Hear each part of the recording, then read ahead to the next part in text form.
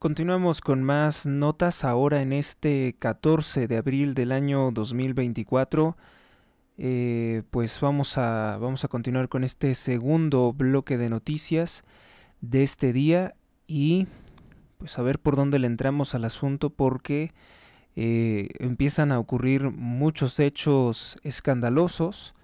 Eh, la caída de una aeronave en la Ciudad de México.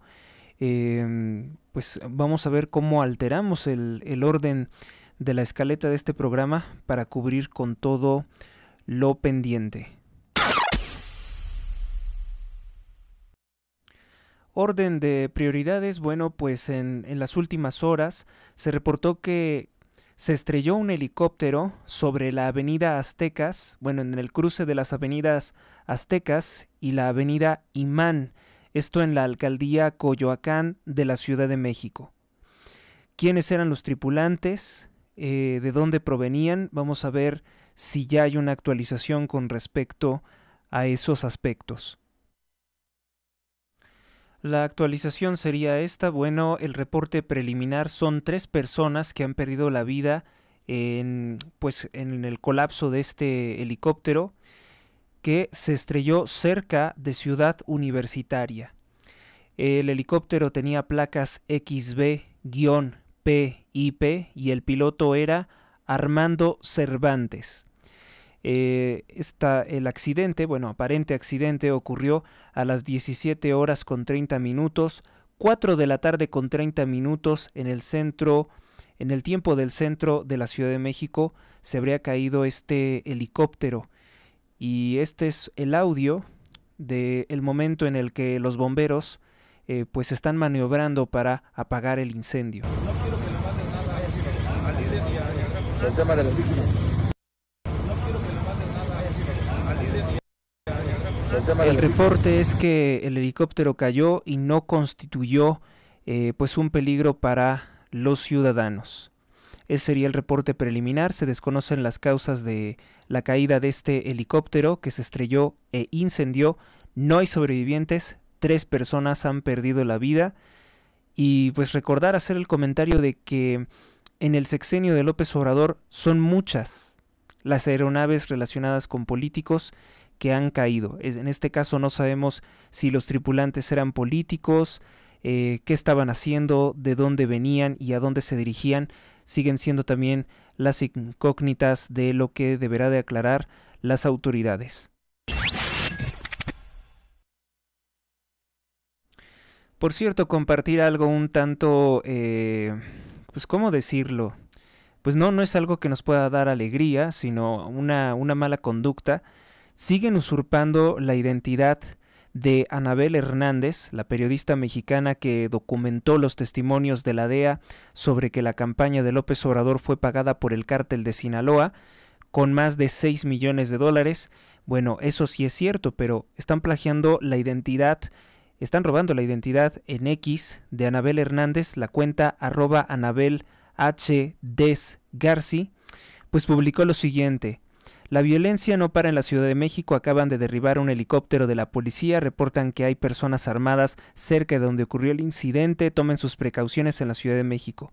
Esta noticia es completamente falsa. Bueno, hasta el momento no sabemos que haya sido un helicóptero de la policía. Y esta cuenta que lo está reportando es una cuenta que ya ha sido reportada por la periodista Anabel Hernández como una cuenta falsa y bueno, previamente el presidente López Obrador no le importó. Utilizó esta cuenta falsa para seguir atacando la eh, credibilidad de la periodista mexicana que por cierto está en el exilio debido a las muchas amenazas de muerte en su contra. Bueno amigos, pues saltándonos esa, esa nota porque tenía el carácter de urgente todavía ya varias horas desde que, pues lamentablemente este helicóptero se estrelló. Continuamos con el orden regular de la escaleta, del orden de noticias que teníamos preparado y comentarles que eh, pues en redes sociales es viral la candidata de Morena Claudio Sheinbaum. Esto después de amenazar con con una promesa un tanto extraña. Dice que si es presidente de México se dedicará a recortar los recursos de la educación superior mexicana, es decir, un ultimátum en contra de la Universidad Nacional Autónoma de México. Así, así fue interpretado pues este, este comunicado tan extraño en que dice que el aumento no será aumento, será recorte. Con respeto a la autonomía de las universidades, lo subrayo, con respeto a la autonomía de las universidades, em, el aumento a la inversión en las universidades públicas tiene que, desde mi punto de vista, ir acompañado también de un proceso de austeridad republicana en las universidades. Lo digo con conocimiento de causa, porque soy universitaria, Fui parte del movimiento estudiantil y conozco las universidades públicas. El recurso público, porque son los impuestos del pueblo de México, tiene que utilizarse para las actividades sustantivas de las universidades. La docencia, la investigación y la difusión de la cultura. Y para ello pues tiene que haber una, un proceso de revisión interna, respetando la autonomía, de en qué se está utilizando el presupuesto público. A ver, todo el mundo sabe que en un matrimonio, cuando el marido no le quiere dar el gasto a su esposa, eh, bueno, intenta chantajearla con el dinero, es violencia económica. Violencia económica quiere ejercer Claudia Sheinbaum en contra de la Universidad Nacional Autónoma de México. Esto después de que el presidente López Obrador ha atacado constantemente a la máxima casa de estudios como una institución que se ha derechizado, ha insistido el presidente. Habla de un aumento y habla de recortes, o sea, es, una contradicción, ¿no? En la vida de Sheinbaum parece ser que esta es la constante, siempre estar en contradicción habla de firmar un acuerdo con la Iglesia Católica por la paz, porque se comprometan a unas elecciones pacíficas, y ella dice que no está de acuerdo con lo que dice el documento, que en México no hay violencia. Va al debate presidencial le dicen, ¿qué es lo que va a hacer usted, porque ha fracasado todas las políticas de López Obrador, qué es lo que va a hacer usted con relación a la violencia contra las mujeres, con la violencia que ocurre contra em, personas homosexuales o transexuales? Y ella dice que tal violencia no existe. Y creo que todos estamos conscientes, todos somos coherentes en ver que hay mucha violencia contra mujeres, contra homosexuales, contra hombres en general, contra toda clase de personas hay violencia contra niños y bueno, pues Sheinbaum se dedica a decir que todo está bien. Fui parte del movimiento estudiantil y conozco gana en las universidades. Lo digo con conocimiento de causa, que desde mi punto de vista ir acompañado también de un proceso de austeridad republicana en las. Y tan solo también recordar que, bueno, el presidente López Obrador mintió al momento de hablar de una austeridad republicana porque su gobierno ha gastado, él ha gastado como si fuera suyos, como si esa suma de dinero fuera suya, más de 154 mil millones de dólares que opaca incluso a la fortuna de Bill Gates los gastos del presidente López Obrador.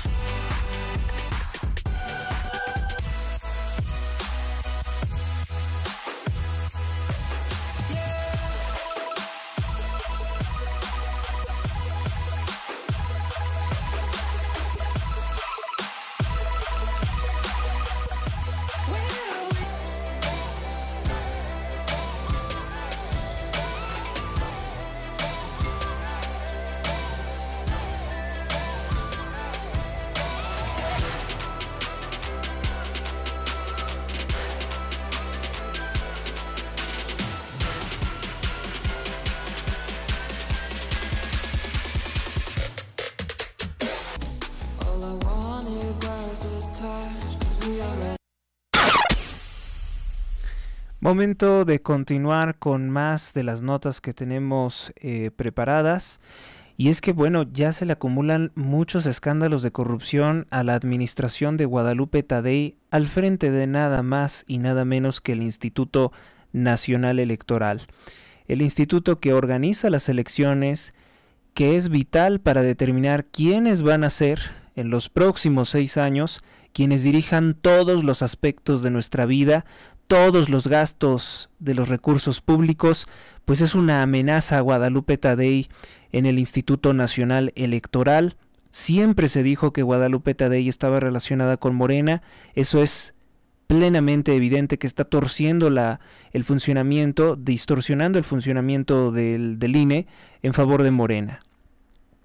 Y es que hay que recordar que en estas elecciones se dice que no van a poder votar en el extranjero los mexicanos que están en Estados Unidos, los que están en España, que tampoco vamos a tener conteo rápido de votos, es decir, si nos hicieran alguna modificación de los resultados electorales que se viera graficado en tiempo anormal, pues no se va a poder porque no tenemos conteo rápido. Dice que porque hubo fallas. Eso está muy extraño, ¿no? Eh, otra de las cosas anormales que están haciendo, bueno, es que no se destinan los recursos para que los capacitadores del INE tuvieran celular, para que tuvieran uniformes. Y hay una serie de contratos que se han estado entregando, por ejemplo, para la impresión de boletas, eh, con unas empresas que no funcionan bien, no tienen experiencia en ello y que ahora se descubre que están completamente ligados al partido de López Obrador, al partido Morena. Entonces, ya es todo un pervertido, degenerado funcionamiento del INE. No, no hay la certeza en estas elecciones de un buen funcionamiento, de que esos resultados sean válidos, además de que el INE se ha negado a investigar los actos de corrupción de Sheinbaum que le exigía el 40% de la nómina de los trabajadores de la desaparecida agencia de noticias del Estado mexicano Notimex que denunció San Juana Martínez, el INE no quiso investigar como tampoco quiso investigar la denuncia de Marcelo Ebrard por extorsiones en la Secretaría del Bienestar. Eh, el INE no investiga, no persigue a los servidores de la nación con los chalecos guinda de Morena que andan ofreciendo dinero a nombre de Claudia Sheinbaum para comprar votos. El INE no quiere cambiar el formato pésimo de los debates presidenciales que ha contribuido precisamente a que Sheinbaum no responda a las preguntas clave de su pasado de corrupción, de delitos. Entonces el INE está está perdido. Defendimos el INE, pero el INE se, en el INE se metió la corrupción de Morena a través de Guadalupe Tadei. Y este es el último escándalo. Vamos a escuchar esto que habla precisamente de talleres gráficos, la empresa que ha concentrado todos los contratos de la impresión de boletas electorales, que no tienen experiencia en tal eh, trabajo, un trabajo gigantesco, sin lugar a dudas imprimir todas las boletas electorales, y que está apalancado con Morena a través de sus directivos que formaron parte del partido. Morena llegó para corromperlo absolutamente todo. Eso ya nos quedó claro. A dos meses de las elecciones, la impresión de las boletas electorales y demás materiales para que los mexicanos podamos votar ya se encuentra envuelto en un entramado más de corrupción a través de jugosos contratos en los que funcionarios de Morena se están beneficiando. Vámonos por partes. Maribel Aguilera Chávez, diputada con licencia por Morena, llegó a ocupar la dirección de Talleres Gráficos de México, organismo descentralizado de la Secretaría de Gobernación, encargado de producir algunos materiales gráficos para el gobierno. Pues bien, en cuanto llegó la diputada asumió la dirección, decidió que el organismo a su cargo expandiría su expertise y por primera vez en la historia serán los encargados de producir millones de boletas electorales, así como lo escuchan. Hoy el encargado de garantizar que tengamos boletas electorales es un organismo sin experiencia en la encomienda. Pero para la diputada Aguilera Chaires, el hecho de que Talleres Gráficos de México no contara con la maquinaria y el equipo para cumplir con la obligación de proveer las boletas electorales no es impedimento. No, hombre, de ninguna manera van a dejar semejantes contratos por miles de millones de pesos. No solo no eran aptos la diputada de Morena se puso creativa para hacer lo que mejor sabe hacer Morena, corromper. Después de mover sus influencias para que los organismos locales electorales le adjudicaran de manera directa decenas de contratos, se encargó de subcontratar a la empresa Gráficas Corona, empresa de quien creen, el sobrino de su esposo, Antonio Mesestrada, quien en 2020 fue acusado por otorgar más de 460 millones a empresas ligadas a él en contratos para la impresión de libros de texto gratuitos, así como otras tres empresas igualmente ligadas a Aguilera Chaires. La gravedad de este asunto no tiene precedente. No solo existe un caso de corrupción descarado, sino que a falta de controles de calidad en la elaboración de las boletas electorales, el hecho de que diferentes empresas subcontratadas se estén encargando de esta impresión pone en peligro toda la elección. Hoy, miles de boletas se mueven entre inexpertos y corruptos. Piensa mal y acertarás. Y con Morena siempre hay que pensar lo peor, a ver si luego las boletas no se pierden y aparecen el día de la elección ya tachadas por Morena. Esto es lo, gravísimo, ¿no? Que si ellos están imprimiendo las boletas, pues no vaya a ser que ya de una vez las estén marcando a favor de Morena, porque ellos están garantizando que para los próximos gobiernos igualmente les entreguen contratos para la impresión de libros de texto con pornografía. Este, también que les entreguen las boletas electorales para hacer Morena llegó para corromperlo absolutamente todo. Eso ya nos quedó claro. A dos meses de las elecciones, la impresión de las boletas electorales y demás materiales para que los mexicanos podamos votar ya se encuentra envuelto en un entramado más de corrupción a través de jugosos contratos en los que funcionarios de Morena se están beneficiando. Vámonos por partes. Maribel Aguilera Chávez, diputada con licencia por Morena. Maribel, Maribel Aguilera Chaires, apúntelo por favor. Maribel Aguilera Chaires es quien está detrás de esta corrupción. Es una diputada con licencia, es decir, quiere un cargo público, tiene licencia para estar separada del cargo, seguir cobrando y si fracasa, pues regresar a su cargo como diputada.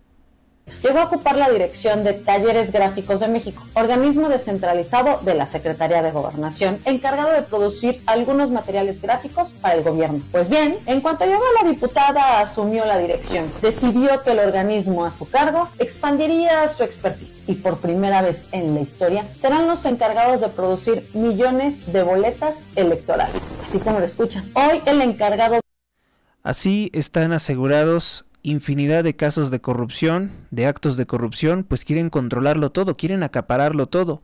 La impresión de los libros de texto, y también eh, que no son gratuitos y también las boletas electorales. De garantizar que tengamos boletas electorales es un organismo sin experiencia en la encomienda, pero para la diputada Aguilera Chaires, el hecho de que Talleres Gráficos de México no contara con la maquinaria y el equipo para cumplir con la obligación de proveer las boletas electorales no es impedimento. No, hombre, de ninguna manera van a dejar semejantes contratos por miles de millones de pesos. No solo no eran aptos la diputada de Morena se puso creativa para hacer lo que mejor sabe hacer Morena, corromper. Después de mover sus influencias para que los organismos locales electorales le adjudicaran de manera directa decenas de contratos, se encargó de subcontratar a la empresa Gráficas Corona, empresa de quien creen, el sobrino de su esposo, Antonio Mesestrada, quien en 2020 fue acusado por otorgar más de 460 millones a empresas ligadas a él en contratos para la impresión de libros de texto gratuitos, así como otras tres empresas igualmente ligadas a Aguilera Chaires. La gravedad de este asunto no tiene precedente. No solo existe un caso de corrupción descarado, sino que a falta de controles de calidad en la elaboración de las boletas electorales, el hecho de que diferentes empresas subcontratadas se estén encargando de esta impresión pone en peligro toda la elección. Hoy, miles de boletas se mueven entre inexpertos y corruptos. Piensa mal y acertarás. Y con Morena siempre hay que pensar lo peor, a ver si luego las boletas no se pierden y aparecen en el día de la elección ya tachadas por Moreno.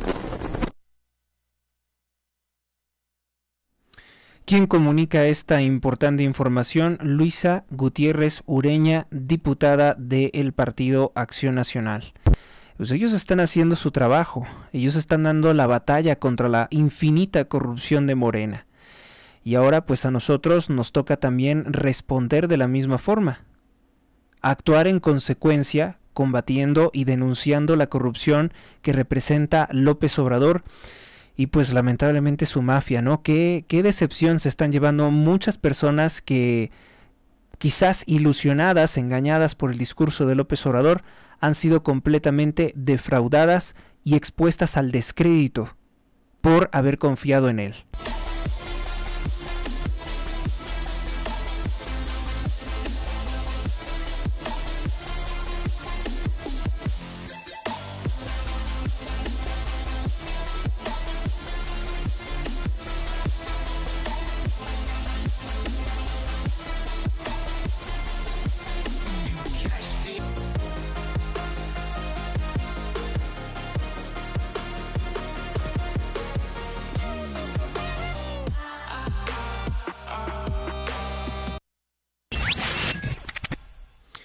Continuamos con más notas y bueno, con más noticias y ahora tenemos, eh, bueno, en redes sociales se exhiben el fuertísimo operativo militar y de acarreados que fue convocado utilizando vehículos de la Guardia Nacional para el evento de Claudia Sheinbaum, esto en el estado de Sinaloa.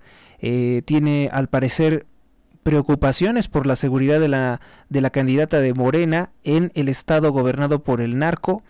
Parece ser que sí.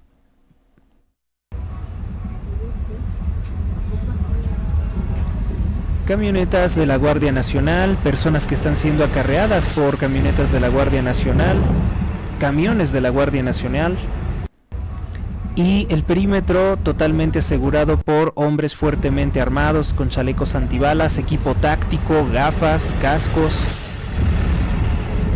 Pues es el temor, el temor de una de las principales zonas controladas por el narcotráfico, por el cártel de Sinaloa, los aliados de López Obrador, que han hecho este despliegue de fuerzas armadas. ¿No se siente entonces en tierra segura? ¿O temen el ataque de un cártel rival? ¿Qué es lo que ocurre para semejante despliegue de seguridad? Vamos con otra nota rápida y es que en el estado de Jalisco, tras eh, que pues Movimiento Naranja exhibiera la corrupción, los lujos de la candidata Claudia Delgadillo, candidata a gobernadora del estado de Jalisco por el partido Morena, pues ya hubo un enfrentamiento.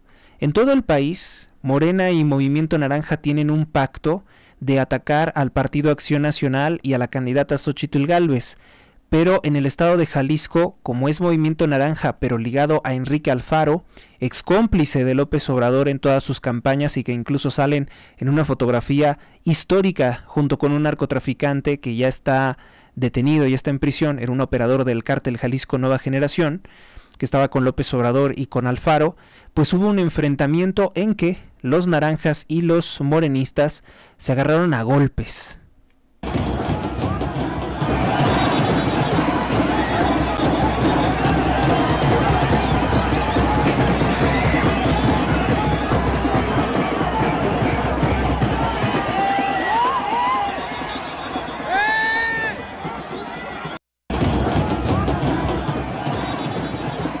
Los hechos, estos hechos ocurrieron en la alcaldía de Tlaquepaque.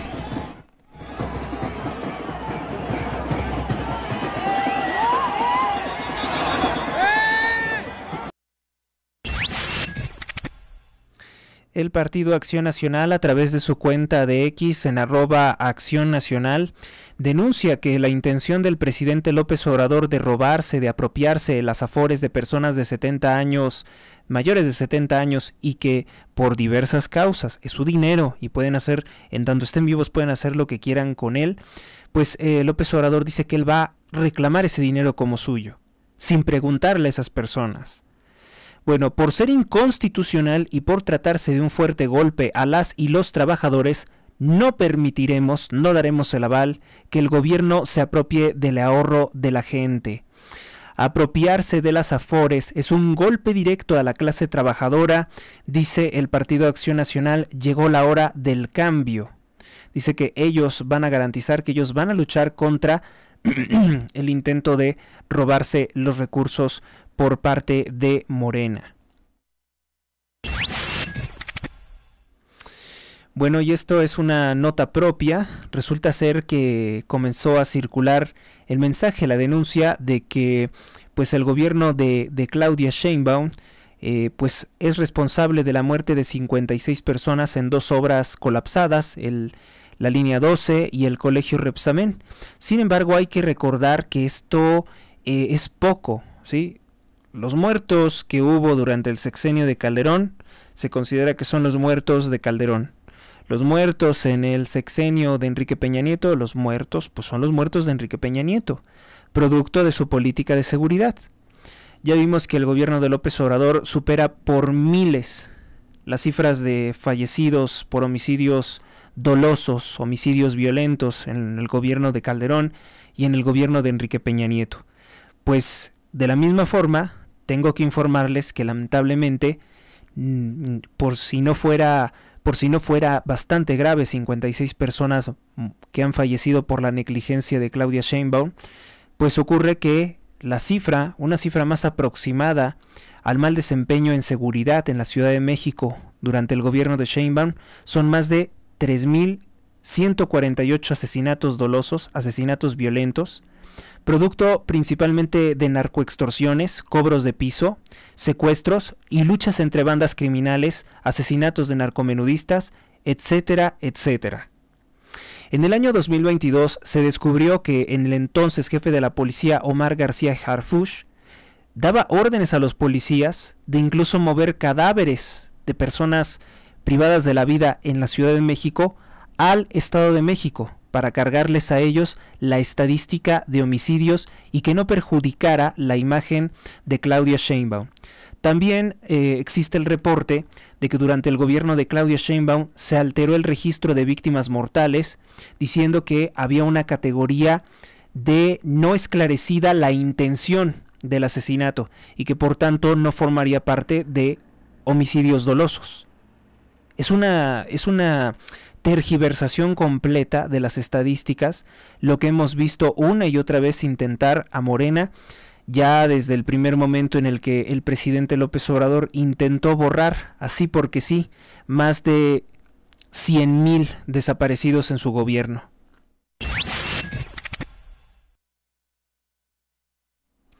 Noticias internacionales, bueno, pues hay un cruce de declaraciones, parece ser un choque de divergencias, de, fuertes diferencias entre el gobierno de Rusia y el gobierno del primer ministro de Israel, Benjamín Netanyahu. El Ministerio de Asuntos Exteriores de Rusia, dirigido aún por María Zaharova, eh, respondió al embajador del Estado de Israel en Tel Aviv sobre eh, por qué no ha condenado el ataque de Irán contra Israel. Esto que se dice, se dice que ah, lanzaron miles de drones contra el Estado de Israel. Sin embargo, tal y como les dije el día de ayer, comenzaron a circular muchas noticias falsas con el hashtag Tercera Guerra Mundial. No es verdad que el presidente de Rusia, Vladimir Putin, amenazó con hacer una guerra. No es verdad. También es importante decir que no es verdad muchos de los videos que están circulando eh, que supuestamente exhiben el funcionamiento de la cúpula de hierro. Ya se descubrió que muchos de esos videos fueron tomados de un videojuego. Y yo desde el principio les dije, oigan, no es por nada, no sé si sea el aparato de propaganda del Estado de Israel, pero todos estos videos se ven muy falsos, muy fake, muy este, muy pixeleados, muy este, o a lo mejor muy claros, también, también hay que decirlo, eh, se ven se ven falsos, dije, no me lo vayan a tomar a mal. Y a, y al, a los pocos minutos, sin mentirles, pues se confirma por parte de los verificadores comunitarios de X que es una noticia falsa. No son eh, videos de cómo se están interceptando los drones o los misiles. Yo digo que sí hubo mucha, la circulación de muchos videos falsos. Bueno, la noticia falsa la noticia falsa de que supuestamente Putin estaba amenazando con iniciar una guerra contra Estados Unidos el día de ayer, pues fue una noticia falsa que se dedicó a amplificar un narcopolítico o un exterrorista que lamentablemente es presidente de Colombia, llamado Gustavo Petro, y que es aliado de la incompetencia de Nicolás Maduro, de la corrupción de Nicolás Maduro, de Rafael Correa, prófugo de la justicia, expresidente de Ecuador, y de López Obrador, por supuesto. Entonces hay que tener mucho cuidado cuando revisamos esto porque hay muchas noticias falsas y hay que, eh, pues, las personas, primera, no difundan cualquier cosa y en segunda, pues hay que aprenderle, aunque, aunque no sea su su caso, su rubro, aprender el oficio de periodista y revisar y revisar las fuentes y ver una y otra vez si esto es verídico, se comparte, si no, pues para qué compartirlo. El, supuesto comunicado de María Zaharova sería, eh, Simona Alperin, ¿puedes recordarme cuándo Israel condenó al menos un ataque del régimen de Kiev, es decir, del gobierno de Ucrania, contra las regiones rusas? ¿No lo recuerdas? Yo tampoco, pero sí recuerdo declaraciones regulares en apoyo de las acciones de Zelensky por parte de funcionarios israelíes. Ese sería entonces el reproche que le está haciendo la, la ministra de Asuntos Exteriores de Rusia, María Zaharova. No se llevan bien con el Estado de Israel, todo parece indicarlo, a pesar de las anteriores y muchas colaboraciones con Putin y el, y el Estado de Israel. Al parecer no se llevan bien, hay un fuerte distanciamiento, creo que ya lo habíamos visto eh, con anterioridad y, y lo más evidente pues es que la organización extremista ISIS se adjudicó el atentado en contra de una sala de conciertos en Moscú que deja más de 143 personas sin vida. Y este ISIS pues siempre ha sido vinculado al Estado de Israel, entonces sería un ataque. ¿sí? lo que ocurrió el atentado en Moscú sería un ataque de el, del, del Estado de Israel, sería.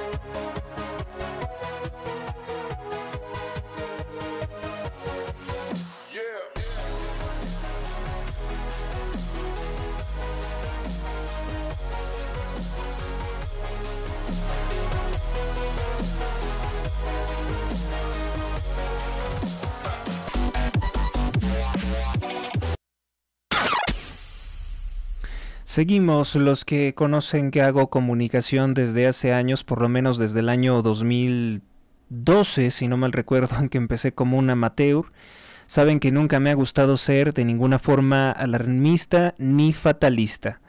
Pero son tantos los acontecimientos de violencia descuartizados en Sonora, descuartizados en Morelos, que la verdad no sé cómo, cómo abordar todo esto más que como una mención y, creo que la radio es la que ha sido más púdica al momento de hablar de estas cosas, porque de otra forma, si yo presentara todas las imágenes tan espantosas que me envían, eh, seguramente ya me hubieran bloqueado la cuenta por, por herir la sensibilidad de muchas personas. Entonces, pues guardar cierta discreción sobre estos eh, acontecimientos. Si les interesa verlos, están todos disponibles en mi cuenta de X. Tengan cuenta de X. Hoy en día yo creo que es la mejor fuente de información y este, ahí pueden, ser, eh, pueden seguir a un servidor en arroba allrighthr.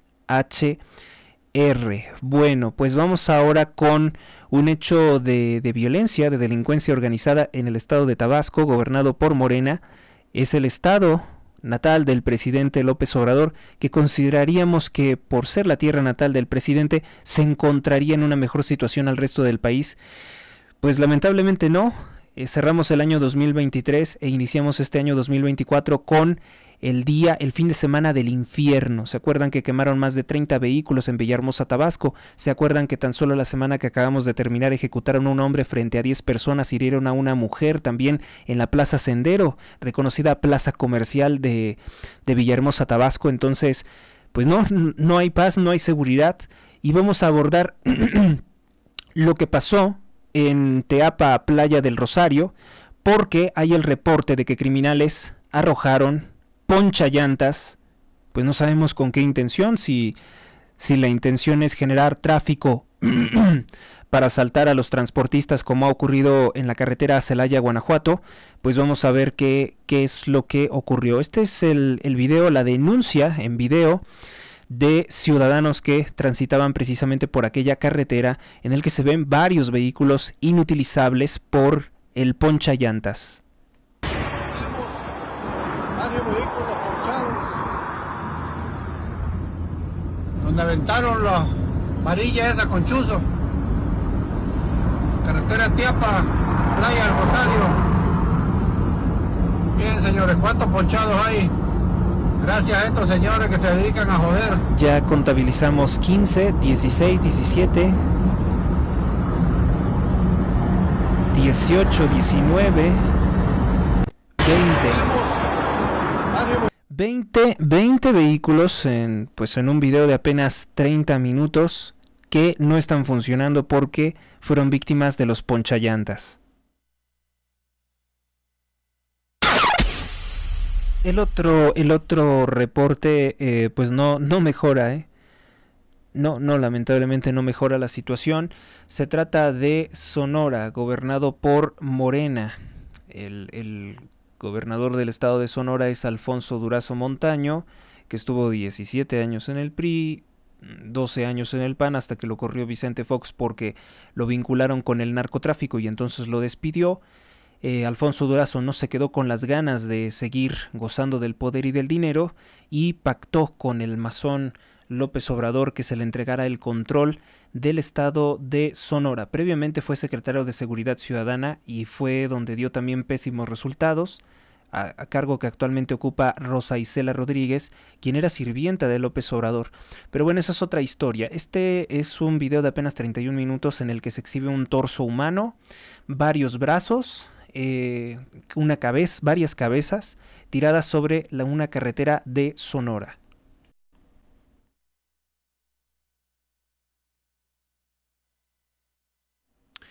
Para mi siguiente nota informativa me baso en los reportes periodísticos del periódico El Imparcial y Uniradio Sonora.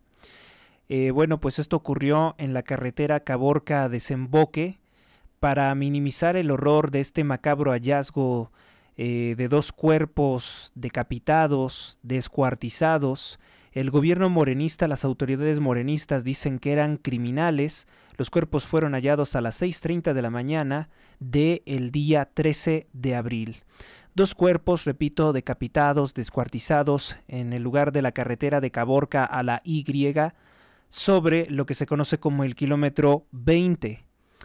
Eh, pues hace poco reportamos también en otro estado gobernado por Morena, el estado de Puebla, que se encontraron siete cadáveres descuartizados, bueno, siete cadáveres, sí, decapitados, y cinco estaban descuartizados. Perdón, uno estaba descuartizado y los cinco estaban decapitados. Eso ocurrió en el estado de Puebla y tampoco se ha esclarecido, se dice que eran integrantes del cártel Jalisco Nueva Generación.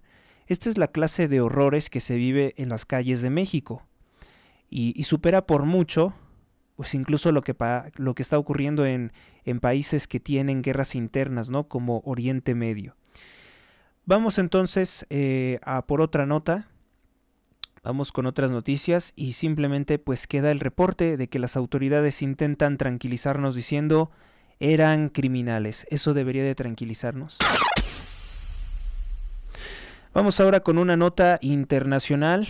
El narcotraficante, el narcopolítico, ex vicepresidente de Ecuador, cómplice de Rafael Correa, quien está prófugo de la justicia, Jorge Glass, bueno, pues em, hay un reporte de lo siguiente. No, no solamente era un político, sino que hay un escándalo de corrupción.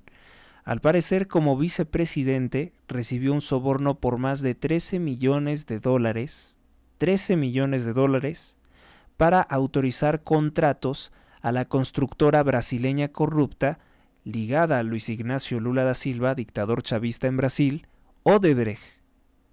¿Se acuerdan que López Obrador decía que combatía la corrupción de Odebrecht? Pues es mentira. Al intentar dar cobijo a un arco político en la Embajada de México en Quito, que recibió 13 millones de dólares de la constructora Odebrecht. Y además resulta ser que de este dinero, para ocultarlo, así como la familia de Claudia Sheinbaum, firmó contratos con el despacho jurídico panameño conocido como Mossack, yo digo Mossad, Mossack Fonseca, que es un despacho jurídico judío que se encargó precisamente de ayudar a cientos de empresarios y gente adinerada como la familia de Sheinbaum a evadir impuestos y a ocultar sus fortunas en paraísos fiscales como las Islas Vírgenes. Pues esto es lo que se descubrió, esto es importante que se destaque porque Jorge Glass no era ningún refugiado, no es ninguna víctima de persecución política, sino un delincuente que colaboró durante 10 años con el peor presidente que ha tenido Ecuador, que ha sido Rafael Correa.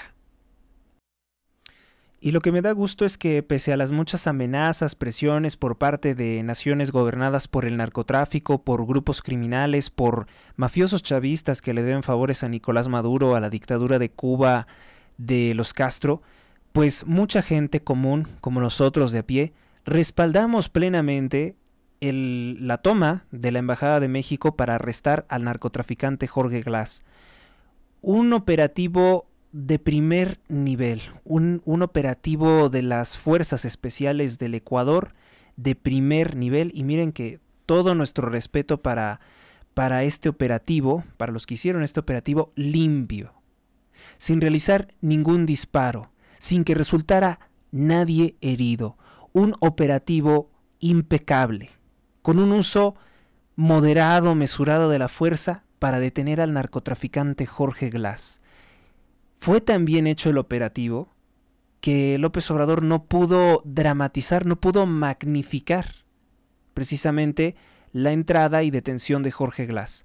Precisamente porque hay cámaras de vigilancia, consta perfectamente que los elementos de las Fuerzas Armadas Especiales de Ecuador no se llevan nada, no roban ningún documento especial de la Embajada de Quito, que además que puede haber entre todos esos papeles eh, que pudiera ser, yo creo que eso es lo que le preocupó al presidente López Obrador, ¿no? Que se pudieran llevar documentos quizá de alguna operación chueca, que yo creo que lo, lo más chueco que había ahí pues era Jorge Glass, pero al parecer a López Obrador le daba la tentación como de acusar a las Fuerzas Armadas de robar incluso cosas de la Embajada de México en Ecuador, pues no le ha salido, no le ha salido bien al, al, al presidente López Obrador, al que apodan narcopresidente en redes sociales los mexicanos.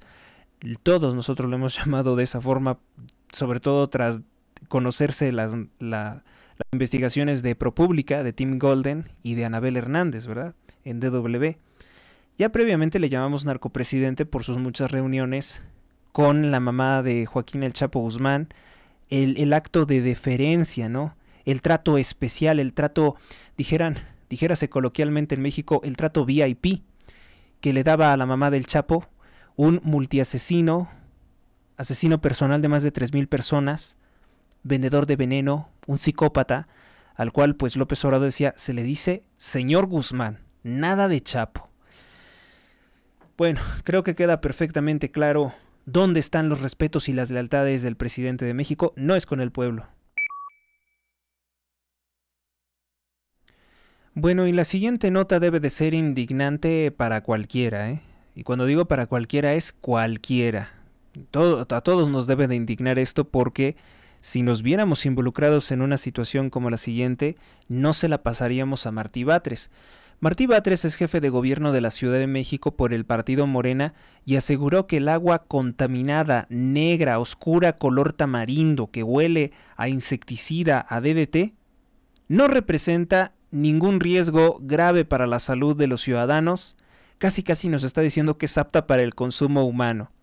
El jefe de gobierno de la Ciudad de México por el partido Morena, Martí Batres, quien está vinculado a la secta Luz del Mundo, eh, pues dice que, este problema no se ha extendido a otras colonias y que las más de 1500 muestras tomadas no aparece ningún elemento que altere la composición general del agua. O sea, están las imágenes, está la gente irritada, con daños en la piel. Eh, ¿qué, qué, qué otra cosa quiere Martí Batres para reconocer que el agua se encuentra sucia y ahora insiste en que no representa ningún riesgo, fíjese, no representa riesgos graves para la salud, que esta agua se puede beber, se puede cocinar con ella, te puedes lavar los dientes, es más, se puede utilizar para las mascotas como agua embotellada. Bebe, bebe petróleo. bebe aceite en descomposición. Ya incluso la señora Miriam Ursúa, que, es, que pues siempre ha sido cuestionada como una política, como una funcionaria, perdón, incompetente por su mala actuación en el colapso de la línea 12 del metro con Sheinbaum, pues esta señora dice es que sí, está contaminada el agua con residuos de aceite. Ella dice que es aceite degradado. No quieren decir bien qué es eso. Martí Batres dice que todavía no, que todavía no saben qué es, pero que no es dañino para la salud. Ya esto ya se salió de, de control, ¿eh? Completamente se volvieron locos eh, los colaboradores de Martí Batres Guadarrama al momento de decir esto sobre el agua de la Benito Juárez. Podemos afirmar que el agua que se distribuye en esa región no representa riesgos graves para la salud de la población. En segundo lugar, es importante recordar que la fuente de donde se originó el problema ya fue cerrada, el pozo Alfonso XIII. Por lo tanto, ya no se distribuye agua de ese pozo a ninguna colonia. A ver, o sea, En lo primero dice que no es un agua que represente un riesgo grave para la salud. No sé qué, qué entienda por grave, muerte tal vez, envenenamiento. Y en segundo lugar dice que el, el pozo Alfonso XIII ya fue cerrado. A ver, si el agua está sucia, si, si, el agua no hubiera estado sucia, entonces ¿por qué cerraste el pozo? Parece, parece una discusión, con todo respeto, parece una discusión de estúpidos. Parece una discusión de eso porque no puedo creer que, que esté todavía negando que el agua está sucia, que el agua está sucia, tan sucia, que no es de consumo humano. Y este señor que tiene a su hermana como ministra de la Suprema Corte de Justicia de la Nación, donde dice cada locura que es una burla para todos los que estudiamos derecho porque sabemos perfectamente que esa señora divaga. Es un cantinflas en la Suprema Corte de Justicia de la Nación, no sabe absolutamente nada ni de derecho comparado, ni de derecho constitucional, bueno, ni siquiera de derecho civil.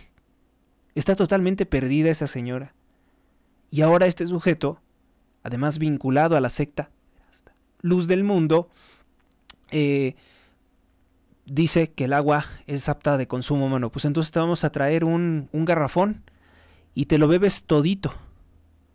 Todito el garrafón te lo vas a tener que beber de 20 litros. Vamos a ver si es apta para el consumo humano que ya sabemos que como te expresas, pues ni pareces, ni parece ser humano, ¿verdad? Ni parece Martí Batres ser un ser humano. Pues se comporta de una forma normal.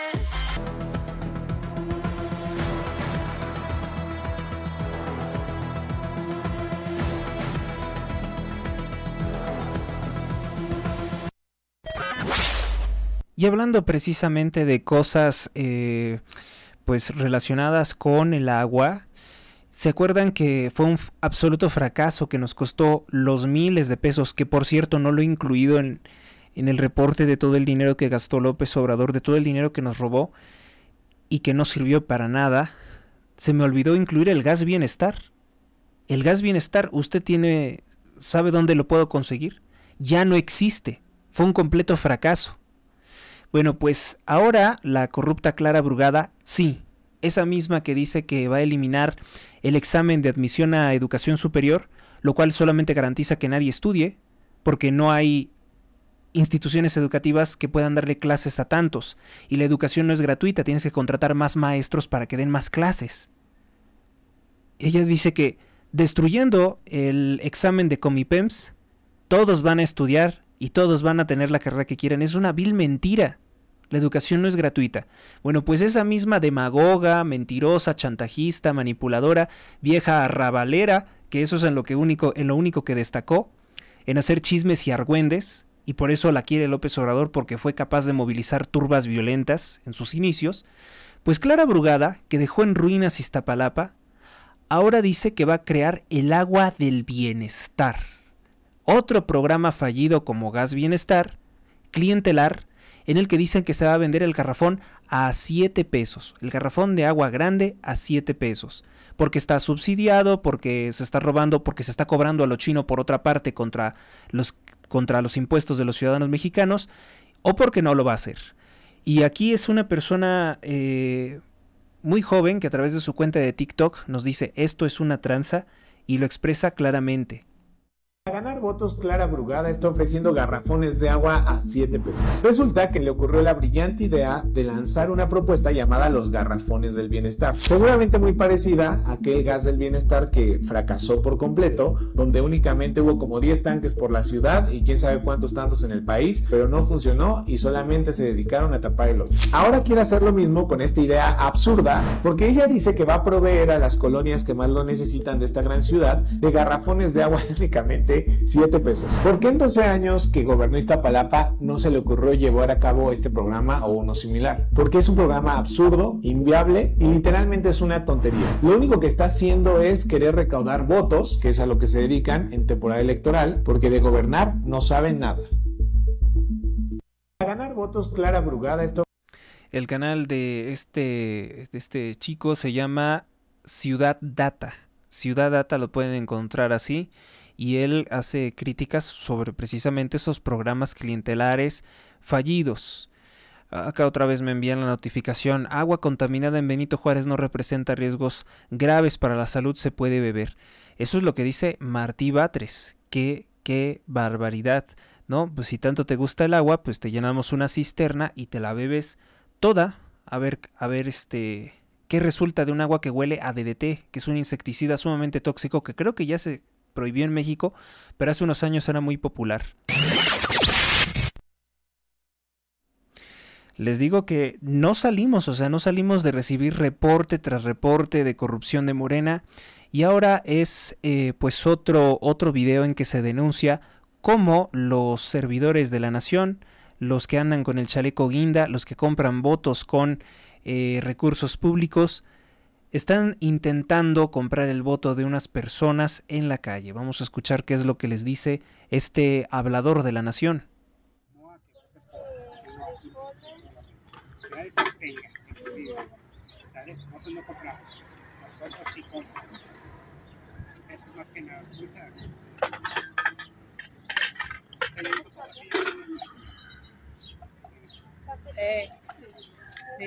Entonces dice, invite a tres con la condición que vayan y les van a dar cuatro mil pesos.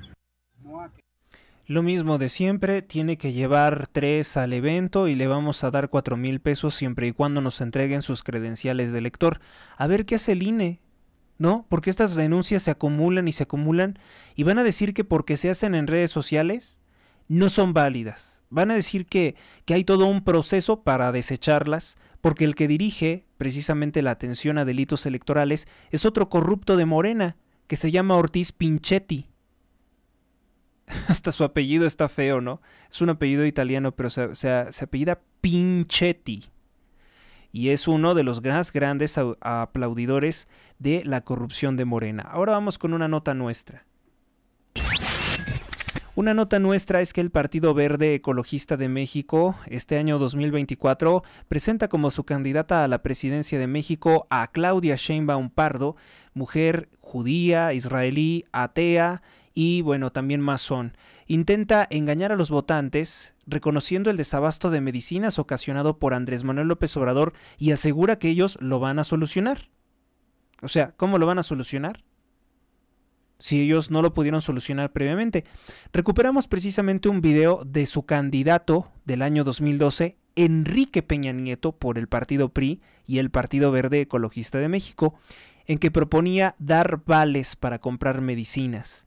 Vamos a escuchar esta propuesta del desacreditado Partido Verde Ecologista de México ahora está con Morena. En estos últimos años, el Partido Verde ha propuesto que si tu instituto de salud no tiene las medicinas que necesitas, sea el gobierno quien las pague. Esta es una demanda que me parece responsable y muy justa. Por eso, como presidente de México, me comprometo a respaldar esta propuesta del Partido Verde. En mi gobierno sí habrá vales de medicinas. México va a cambiar. Ese es mi compromiso y tú sabes que voy a cumplir. Y tú sabes que voy a cumplir, decía, decía Enrique Peña Nieto. ¿Y ahora quién está ahí? Claudia Sheinbaum Pardo. Ahora es quien está ahí. Uf, pues es que es, es difícil, ¿no? Hablar de coherencia, hablar de congruencia cuando se tiene todo esto encima. Porque lo tienen encima. Tienen encima a Enrique Peña Nieto que en este gobierno nunca se citó a declarar, nunca se le giró una orden de aprehensión, nunca se le hizo absolutamente nada y que el presidente López Obrador dijo que el presidente Enrique Peña Nieto no se enteraba de tanta tranza, cuando antes, cuando estaba en campaña, decía que el presidente siempre se entera de tanta tranza y, y ahora dice que no, que el presidente no se enteraba que el presidente es una blanca paloma, que el licenciado Peña Nieto, primo de Alfredo del Mazo Maza, gran amigo de López Obrador, gran cómplice de López Obrador, son personas honradas y que merecen todo su respeto, los líderes, los jerarcas del grupo Atlacomulco, los dueños del Banco Banorte, donde tenía por cierto su cuenta de extorsiones, el ex ministro, el ex presidente de la Suprema Corte de Justicia de la Nación, que recibía órdenes directas de López Obrador, Arturo Saldívar Lero de la REA, que recibió sobornos hasta de más de 300 mil pesos en su, en su cuenta de banco de Banorte para intentar la liberación de peligrosos secuestradores y asesinos. pues sí, estos son, estos son los más grandes escándalos de la, de la corrupción de Morena y en plena temporada electoral. Vamos con otra nota y bueno, aquí ocurrió algo terrible en la delegación estatal del ISTE, Acapulco Guerrero, gobernado por el partido Morena. Se incendió, se incendió la delegación estatal del ISTE, que es un hospital. Eh, pareciera, muchos empezaron a decir, es que cayó un misil, estas imágenes deben ser del Estado de Israel. Pues no, es Acapulco Guerrero, gobernado por Morena. ¿Se quedó gente en el elevador?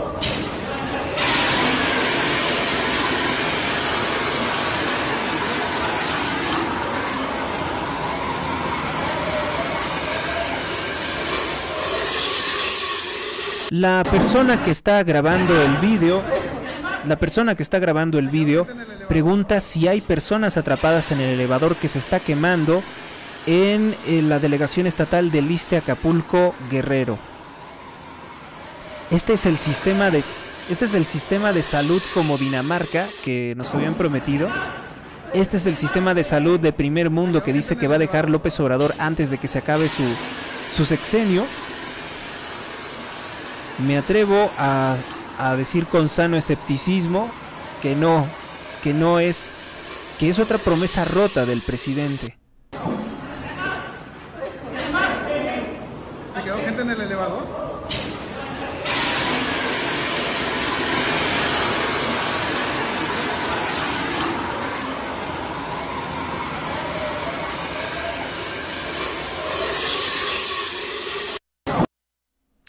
Para la siguiente nota periodística, para la siguiente ficha informativa, nos basamos en el reporte del medio de comunicación desde el balcón, Miradas Libres, quienes desafiando la censura, el cerco informativo impuesto por el gobierno de la República, reporta fuego en el ISTE de Acapulco. Eh, se trata de un elevador que pues se incendió, se desconoce eh, pues las razones por las que se incendió Elementos de emergencia evacuaron rápidamente a las personas para evitar incidentes humanos. De acuerdo con testigos oculares directos, eh, esto ocurrió en el Iste, ubicado en la zona costera Miguel Alemán, frente al Club de Golf de Acapulco. El siniestro fue reportado al mediodía, pasadas las 12 de la tarde, en el centro de convenciones de Copacabana, en el fraccionamiento Club Deportivo. El reporte oficial de las autoridades señala que se quemó el techo de unicel del último nivel de un edificio que se encuentra en remodelación tras ocurrir el, impacto del huracán Otis, es decir, Acapulco no está reconstruido al 100% como ha tratado de difundir el periódico La Jornada y otros medios de comunicación. Se identifica con alguna de las siguientes... Vamos a, con la siguiente nota. ¿Se identifica usted con una de las siguientes situaciones? Eh, cuando lanzan 200 misiles y drones en contra del Estado de Israel, ¿usted se alegra? ¿Se alegra de esa, de esa barbaridad? ¿Usted se enoja cuando se entera que de la Embajada de Ecuador eh, arrestaron un narco político que intentaba proteger López Obrador? ¿Usted se enoja? Puede tener un problema, ¿eh? Si se identifica con alguna de las de las dos que acabo de mencionar, puede tener algún problema. Es un meme compartido por el señor Expropiese. Así son los zurdos con el Estado de Israel. Dice, hago memes en Paint. Paint de, de, Windows, que es yo creo que la, la, primera, la primera herramienta de memes de la historia, ¿no?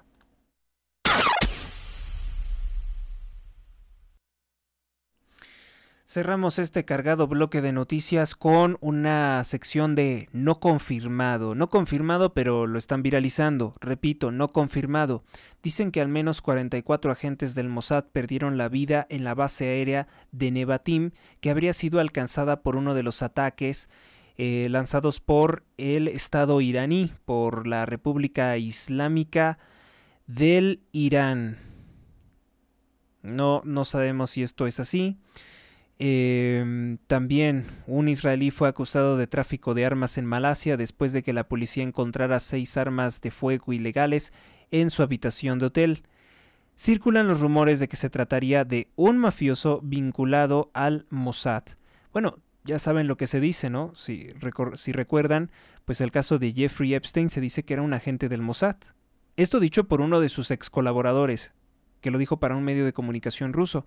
Y también dijo que el papá de Ghislaine Maxwell, ese gran magnate de los medios de comunicación del Daily Mirror en, Inglaterra, en Reino Unido, pues que también era un, agente del Mossad. De hecho, ni siquiera se llamaba Robert Maxwell. Eso era una, una mentira, un hombre que, que adquirió. Él tenía un nombre plenamente israelí. Entonces ya sabemos que en los medios de comunicación también hay muchos agentes, eh, agentes israelíes. Y sobre las portadas del fin de semana de los principales periódicos de México, híjole, yo creo que se los voy a quedar a deber, pero eh, solamente recordarles que el periódico El Universal en su edición del domingo recordó que Claudia Sheinbaum intenta minimizar el mega escándalo de corrupción de Arturo Saldívar Lelo de la Rea, quien ha sido denunciado no anónimamente, sino por una persona con nombre y apellido que los medios no quieren mencionar, por extorsionar, amenazar, eh, dilatar, eh, me refiero retardar, ¿sí? Me refiero por eso retardar, eh, tratar de obstruir el desarrollo o el trabajo de los jueces que él amenazaba por órdenes del presidente López Obrador. La candidata de Morena dice que la gente tiene que serenarse, o sea, tenemos que aguantar la corrupción según ella, así como los recortes que quiere hacerle a la UNAM, así como dice ella que se puede vivir sin trabajar, según ella.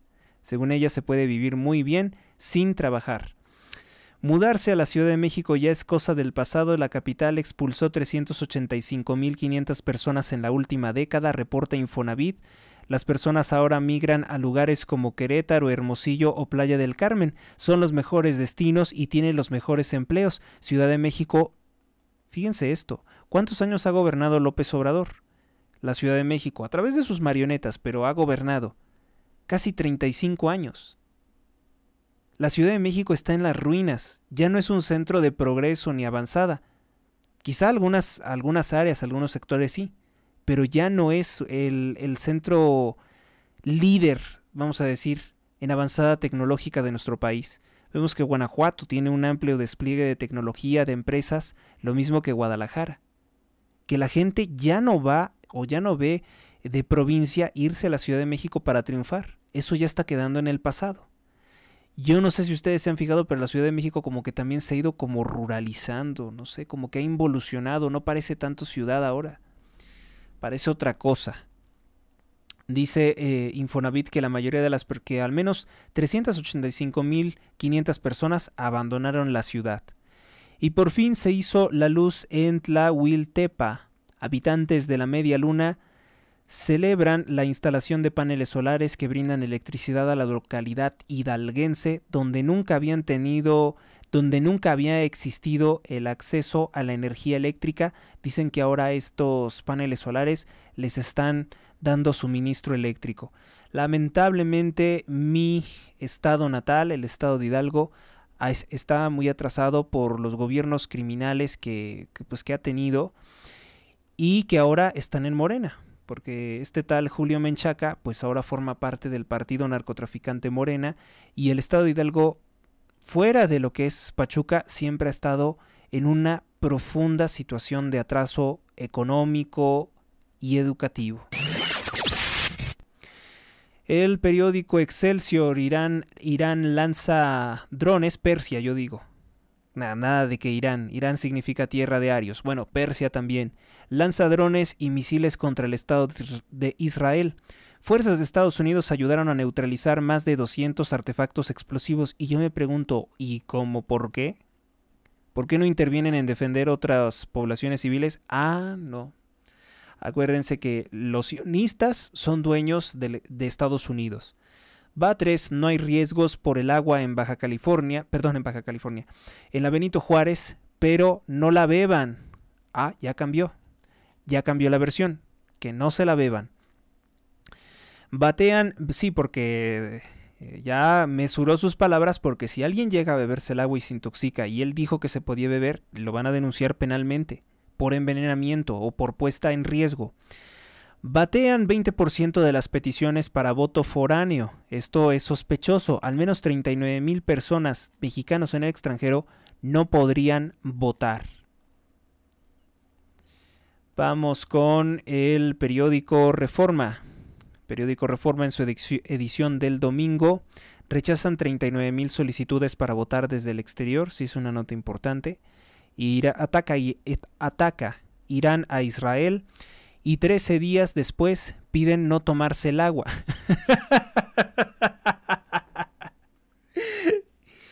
Eh, Martí Batres piensa que si, no, que si no le dice a las personas de la Benito Juárez que no se beban el agua, se la van a estar bebiendo. Que previamente sí lo dijo.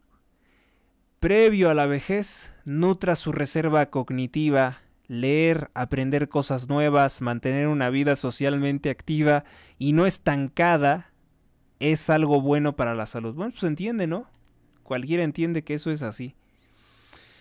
El órgano oficial de propaganda de López Obrador, Diario La Jornada, dice que represalia de Teherán por bombardeo a su, a su consulado en Siria. O sea que entiendo por la redacción del periódico La Jornada que está muy bien que los islámicos masacren mujeres y niños israelíes. O sea, la jornada está muy bien, muy, en su posición de ok. Yo no sé si la candidata sionista que tienen en Morena esté de todo de acuerdo a no ser que odia su propio, a no ser que odia a su propio pueblo. Elevan tensión en Medio Oriente, inédito ataque de Irán contra el Estado de Israel, Biden respalda a Netanyahu pero no apoya el contraataque, eh, no apoya el contraataque porque seguramente los izquierdistas no votarían por él. Carece la Corte de un marco legal para juzgar a los ministros en retiro. Ah, ahora, ahora no se puede juzgar a los ministros. Pero, ¿qué tal antes? ¿Qué tal antes con, con Arturo Saldívar? Querían hacerle hasta un comité de guerra, un, ponerlos en el patíbulo a los, a los jueces que no fallaran a favor de la corrupción de AMLO. ¿Qué, qué, qué forma de estar siempre de incoherente el periódico La Jornada? Murillo Karam cumple ya prisión domiciliaria por su mal estado de salud. Ya, eso fue un caso, un caso cebo, ¿sí? otra de las muchas simulaciones del narcopresidente López Obrador, que ya se le fue, ya se le cayó también, ya se le cayó ese teatro también, como se le van a seguir cayendo todos los teatros que hizo en su sexenio, el más inútil, el más lento y el más corrupto del cual tengamos memoria. Acéptenlo, acéptenlo porque les dijimos siempre que iba a ser un fracaso y fue presidente y fue un fracaso. Profecía autocumplida. Periódico Milenio.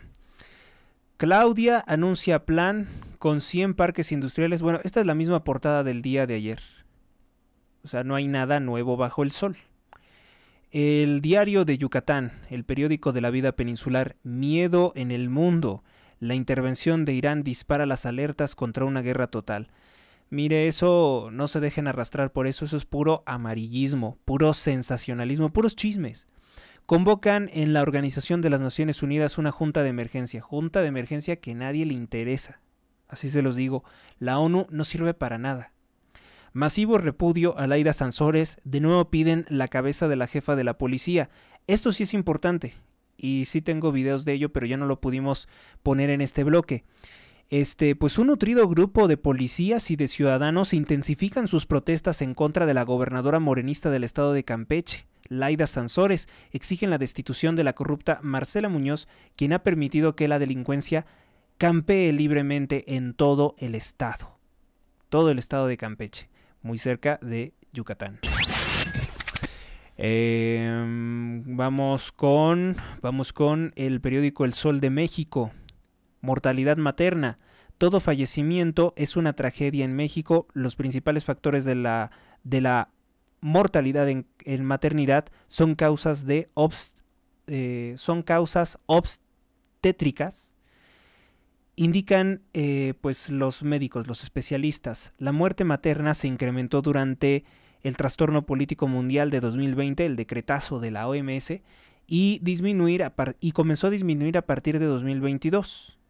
Pero se ha colocado en 14.4 muertes maternas por cada 100.000 nacimientos. O sea que en, en maternidad, en servicios de salud, no estamos bien. ¿sí? Si se ha incrementado la muerte de mujeres embarazadas dando a luz, es precisamente por los pésimos servicios de salud que tenemos. Aquí no se enteran mucho en, en el centro de México, pero en Veracruz, por ejemplo, varias mujeres han sido abandonadas por el IMSS con eh, el producto, con el niño muerto, y no les hacen la cirugía traspasadas 48 horas. Esto puede tener fatales consecuencias para la salud de estas personas y el IMSS pues no funciona. También les presenté el reporte de un hombre que tenía un fuerte dolor testicular y de tanto dolor mejor se arrojó, se privó de la vida lanzándose desde un puente en la Ciudad de México porque el IMSS igualmente no quiso atenderlo. Ese es el sistema de salud como Dinamarca de López Obrador.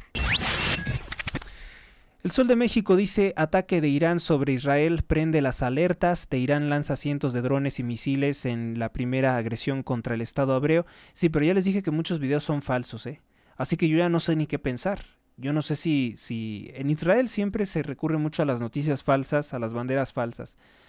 No sé de qué hubo un ataque, hubo un ataque porque lo ha reconocido el mismo Irán, pero no sé la magnitud de ese ataque cuál será, ni las consecuencias. Ya se sabe, por ejemplo, que el ataque de Hamas contra Israel fue facilitado por el primer ministro de Israel, Benjamín Netanyahu, que tenía un informe de inteligencia de los Estados Unidos por lo menos un año antes y no hizo nada porque ese era el plan. El plan era lograr la masacre de 1.200 israelíes ordenado por ese gobierno que parece más bien un gobierno nazi, el gobierno de Netanyahu. El gobierno de Netanyahu mató a su, propio, a su propia gente sacrifica a su propia gente para tener pretextos para masacrar mujeres y niños en Gaza. No es ningún mito. Buscan cargo público cada, perdón, cuatro de cada diez candidatos sin licenciatura. A ver, que los que quieren el poder son unos analfabetas ambiciosos. No tienen el grado de licenciatura. dice, de los aspirantes a la presidencia el, del Senado y la Cámara de Diputados, Solo 61.62% reportan tener un grado académico equivalente a una licenciatura o educación superior en el Instituto Nacional Electoral. De acuerdo con la plataforma digital Conóceles, de los 4.568 aspirantes inscritos para ocupar una curul en el Senado de la Unión o la presidencia de, eh, el Senado, eh, pues algunos tienen doctorado, solamente 115 tienen doctorado, aunque casi la mitad se refiere a que cursa algún grado o aún no cuenta con un título profesional. La Alianza Fuerza y Corazón por México tiene más candidatos con maestrías y doctorados, en tanto que la de Sigamos Haciendo Historia son los más analfabetas, son los que no cuentan con ni, ni siquiera nivel licenciatura. Uy. Al rato se van a enojar, ¿no? Pero pues sí es el mismo presidente López Obrador que dijo, a mí me apoyan la gente que no tiene estudios de universidad porque los que estudian en la universidad no me quieren. Así lo dijo. Pemex confirma que hay aceite en el agua, en el agua de la Benito Juárez, no en el origen. La sustancia detectada en las muestras de agua del norponiente de la alcaldía Benito Juárez es una mezcla de aceites y otros componentes degradados, informó un directivo de la petrolera, pero del origen, o sea, de dónde salió esto, por qué está esto en el agua, nada.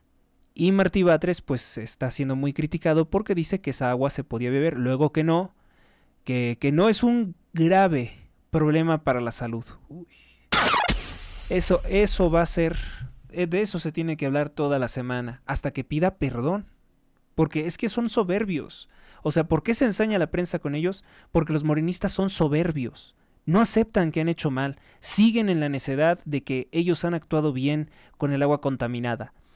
Irán cumple su amenaza y ataca al Estado de Israel. Muchos decían que eso no podía pasar, sí pasó. Y dicen que va a haber un contraataque. Y de ese contraataque probablemente surja una guerra entre ellos, porque no tendría por qué intervenir nadie más. En el Odomex se ha incrementado hasta en un 480% las desapariciones de mujeres en los últimos dos años, 480. El ex procurador de la República, Karam, ya está en su casa. Pemex informa que la contaminación del agua sí es una mezcla de aceites. América sin piedad masacró a Toluca en 5 a 1 y Chivas con un autogol vence a Pachuca con un gol. Vamos con el periódico AM. ¿Cuánto llevamos de transmisión? Una hora 15 minutos. Todavía estamos dentro de los márgenes. Periódico AM denuncia que fueron eliminados de la lista nominal de electores eh, cuanto antes, ¿qué? Cuando antes los aceptaron. O sea, antes sí les permitieron votar en las antiguas elecciones, en las de 2018, y ahora dicen que no. El órgano electoral, el INE, reporta que del total de 220.000 solicitudes consideradas como válidas, se declararon improcedentes las votaciones de mexicanos en el extranjero de 39.000 por inconsistencias en su registro. ¿Qué clase de inconsistencias? A ver, vamos a tratar también de ponernos un poco del lado del INE. ¿Son datos falsos? ¿Están tratando de decir que estas personas no son mexicanas y que por eso no pueden votar? ¿Cuáles son las inconsistencias? Tienen menos de 50 días para resolver. ¿Ustedes creen que van a resolver todas esas miles de solicitudes? No. Esa es la realidad de las cosas. La gente no va a votar porque el INE ya se montó en esa pues en esa objeción, en ese pretexto reclaman exclusión del INE en el extranjero. Es una buena portada al momento de hablar de esto. Va de nuez bici pública tras el fracaso de un primer intento. El municipio de León alista otra vez el proyecto.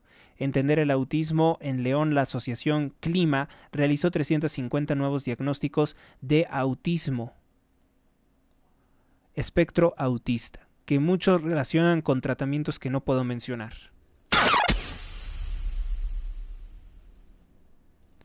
Vamos con la siguiente nota. El periódico El Informador, el diario independiente, tensión mundial en Irán, porque tensión mundial, porque Irán ha atacado el Estado de Israel. Vamos entonces con el segundo titular, más tiempo, más peleas y menos propuestas en segundo debate a la gobernatura del estado de Jalisco. Pues sí, porque el candidato naranja exhibió los muchísimos lujos de la candidata Claudia Delgadillo. Le enseñó que tiene un reloj Santos Cartier de oro con correa de cuero que tiene un valor de más de 442 mil pesos, que es mucho dinero en México, muchísimo dinero en México, no lo tiene cualquiera. Bueno amigos, pues esto es todo por el momento, gracias por su atención, espero haber abordado la mayoría de los temas, si no es la mayoría saben que siempre en esos programas queda fuera algo, pero sin lugar a dudas lo más relevante. Están bien informados, hasta la próxima. Dios los acompañe. Suscríbete a Héctor Rosales Oficial y recibe las últimas noticias y actualizaciones del canal. Gracias por tu atención, hasta la próxima.